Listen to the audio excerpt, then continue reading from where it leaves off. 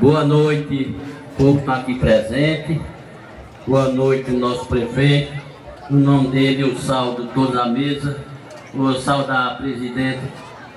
No nome dos nossos vereadores e vereadoras. Saudar todos os secretários que estão aqui, no nome de Dona Irene. E saudar também meu amigo que veio apresentar meu amigo Zé Patriota, que não pôde vir, está aqui.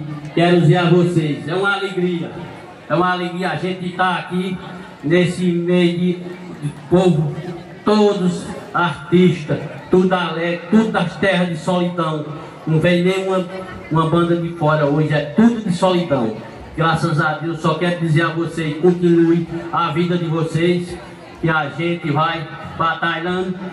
O prefeito também está aí para batalhar mais coisas que vai vir.